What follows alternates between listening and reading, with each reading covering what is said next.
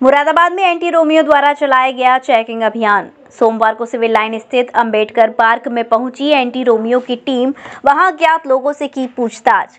इस दौरान anti Romeo प्रभारी ज्योति चौधरी ने बताया कि टीम द्वारा मंचलों व शरारती तत्वों की चेकिंग की गई। कई लोग अंबेडकर पार्क में सोते मिले। उनसे पूछताछ की गई और उन्हें कोई भी अव्यवस्था के लिए समझाया गया।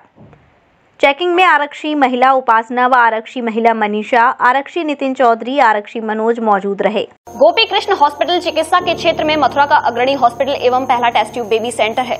आईवीएफ में 70 प्रतिशत सफलता, स्त्री रोग विभाग में high risk delivery caesarean operation hysterectomy आदि बेहद अनुभवी एवं क्वालिफाइड लेडी डॉक्टरों द्वारा किए जाते हैं। हड्डी रोग विभाग की एडवांस यूनिट जहाँ पर जोड़ प्रत्यारोपण, यानी कि घुटना रिप्लेसमेंट कूलर रिप्लेसमेंट रीढ़ की हड्डी के ऑपरेशन एवं फ्रैक्चर होने पर प्लास्टर सरिया या प्लेटिंग आदि की सर्जरी की जाती है।